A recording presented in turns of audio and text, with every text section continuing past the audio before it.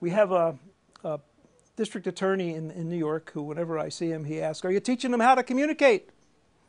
I don't care what they know if they can't talk to my judge, if they can't write a good case report, if they can't convince the jury that they know what they're talking about.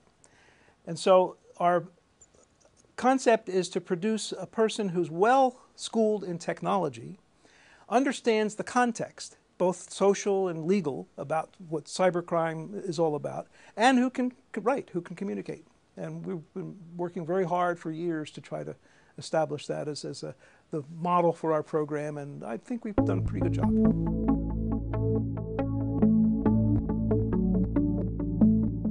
I'm Professor Richard Lovely. I'm the director of the Digital Forensics and Cybersecurity program.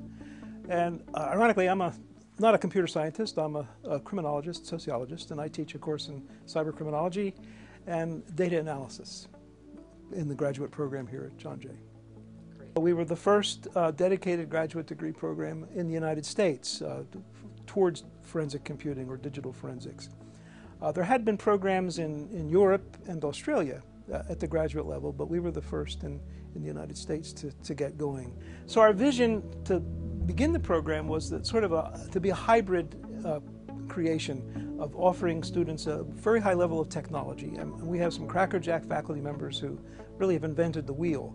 Um, our courses are not taught from textbooks for the most part. They, they uh, are teaching what they do, their, their, research. And that, that is exciting for students, it's, it's demanding and exciting for faculty as well. We have sword officers in the program, uh, people who are actually in the business, who are, are, doing digital forensics, who've come to learn the science beneath the technology that they use in their, their regular jobs. We also have a lot of mid-career people who are already involved in information technology but who decide they want to retool. And some of them have to also learn the basic computer science to be able to take our graduate courses. But they already have great expertise in networks and, and other aspects of, of IT, but they come to, to, to deepen their knowledge and, and become more versatile. We, we teach, for example, a course in network security and then network forensics. Uh, both are important, and you can just look at one or the other. But, but, but um, so network security becomes a prerequisite for our forensics course. So that, that combination gives a deep versatility to our, our graduates. And I have to say that, that there, there are probably far more jobs in cybersecurity than there are in, in pure digital forensics. Uh, because everybody's got a cybersecurity problem. You've got it, I've got it, um, corporations have it, universities have it, we all have it. When I got into this business, it was very, the, the, there was a very tiny uh, window for, for people. I was in the military and in high levels of uh, counterintelligence and security years and years ago. And the only people who had these kinds of cybersecurity issues were the White House, the Pentagon, and the State Department. Because they had a need for, for encrypted, secure communications at an international level. Well, now we all do that. Everybody's got the same problems. We have people who've graduated who are now federal agents with the Secret Service, with the FBI, with Health and Human Services.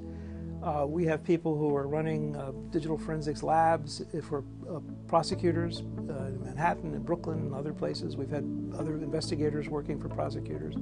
We have uh, people who are working in research areas for some of the big, big companies. Um, uh, we have people who are involved in software development. Um, the corporate side is also very interesting. We have people who work for some of the biggest corporations. Um, who all have cybersecurity problems and forensics problems, whether it's e-discovery or they have intrusions into their networks. Uh, hospitals have HIPAA violations constantly that they have to investigate. Um, so our graduates are versatile. Our graduates are well schooled and equipped to try to, to work on both sides of that, both the, the when there's been an intrusion or there's been a, a crime committed, to, to, to find the evidence, look at it, but also, if need be, to, to provide the security. So we have three different programs that are all integrated. One is the, the degree program, the Master of Science in Digital Forensics and Cybersecurity. One is a prep program for people who lack the computer science background but, but show promise to, to learn that stuff very quickly. And that's the CyBridge program, Computer Science for Digital Forensics. And the third is the CAD for Sci, CAD 4, side, as, as our, our, nickname for the program, by the way, is, is D4CS. That program is integrated into the degree program. So we have three different programs. You can apply to any of them that you're qualified for. And so now every course that we teach has to have an applied dimension to it. Uh, we apply theory to practice, and that's, a, that's something we push hard. Uh, we, we like to say we, we want to make our courses maddeningly fun, uh, the, the projects that, that we, we require students to do. And I think our faculty are, up to that task. Um, it's fair to say we have a rigorous program. Um, we're selective in our admissions because you have to have the, the, the, chops to be able to do the work we ask you to do. And, and we put out a pretty darn good product.